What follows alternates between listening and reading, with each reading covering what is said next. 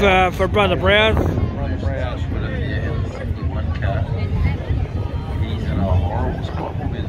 the, safe side of the car.